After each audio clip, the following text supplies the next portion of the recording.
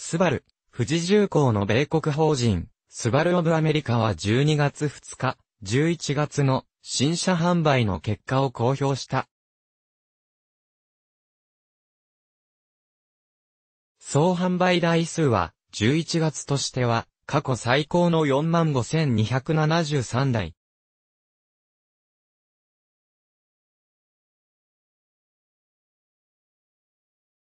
前年同月比は23.6%の大幅増で、36ヶ月連続で前年実績を上回った。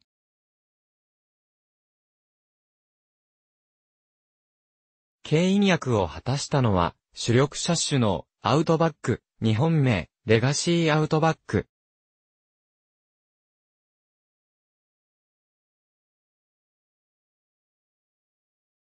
新型投入の効果で14,128台。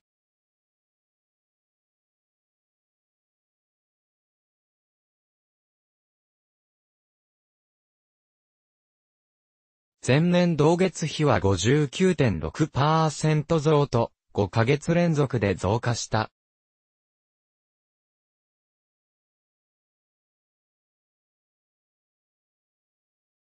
2014年2月のシカゴモーターショー14で新型を発表したレガシー、日本名レガシー B4 も新型投入により96.9%増の5733台と5ヶ月連続のプラス。2013年春にモデルチェンジしたフォレスターは11月の記録を更新する13,879台を販売。前年同月比は3.5%増と堅調だった。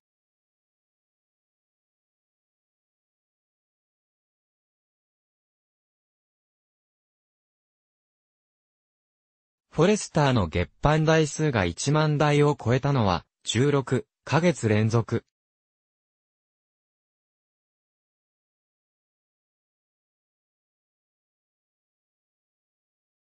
2012年9月に発売された XV クロストレック、日本名、インプレッサ XV も人気。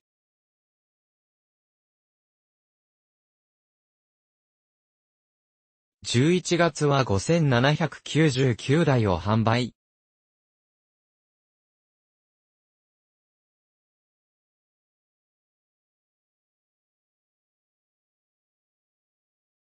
前年同月比は9.2%増と、引き続き好調。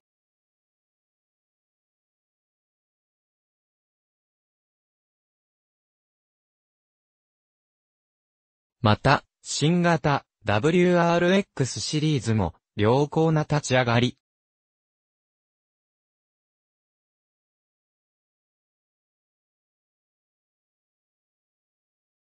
2013年11月のロサンゼルスモーターショー13で発表された新型 WRX が新型 WRXSTI を含めて11月の新記録となる2707台を販売。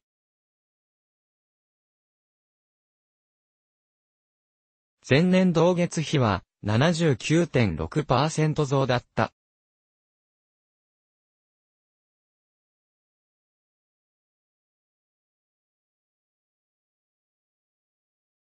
一方、インプレッサ WRX を除くは11月2589台を販売。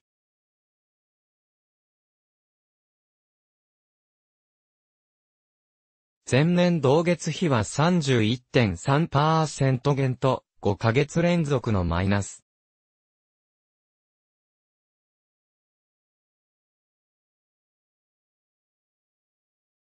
スバルの2014年1から11月米国新車、販売は、前年同期比20.6%増の46万3770台と、2013年の42万4683台を上回る年間販売記録が確定。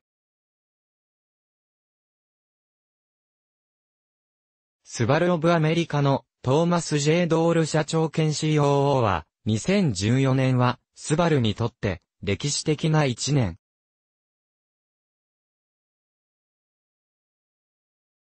年間では50万台を超えるだろうと、5、